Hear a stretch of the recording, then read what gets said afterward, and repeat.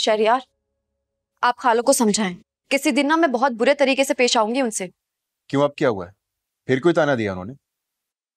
इस बार तो मैंने भी ताना दिया उन्हें और अब से यही करूँगी उनके साथ। और अफान के इरादे भी कुछ ठीक नहीं लग रहे हैं मुझे।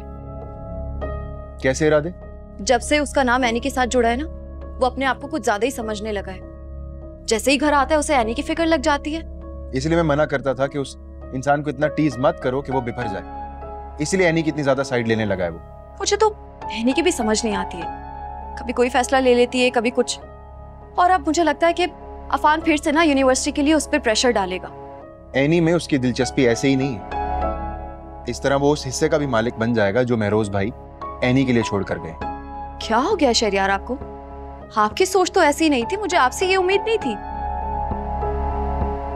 और कल तक तो आप एनी की साइड ले रहे थे?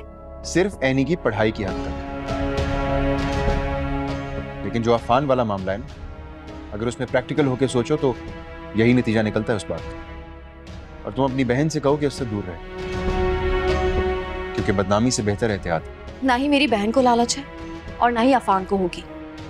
हाँ ये ज़रूर है कि जब से औलाद हुई है ना वो मुझसे दूर हो गई है। एक लम्हा भी उमर को मेरे साथ नहीं रहने देती।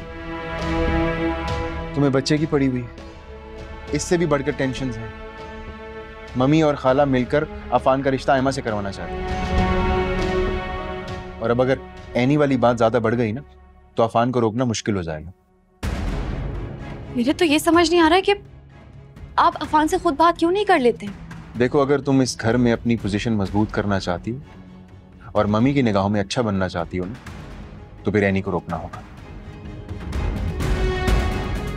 क्योंकि जब एनी कोई ख्वाहिश नहीं करेगी तो अफान खुद ब खुद चुप हो जाएगा।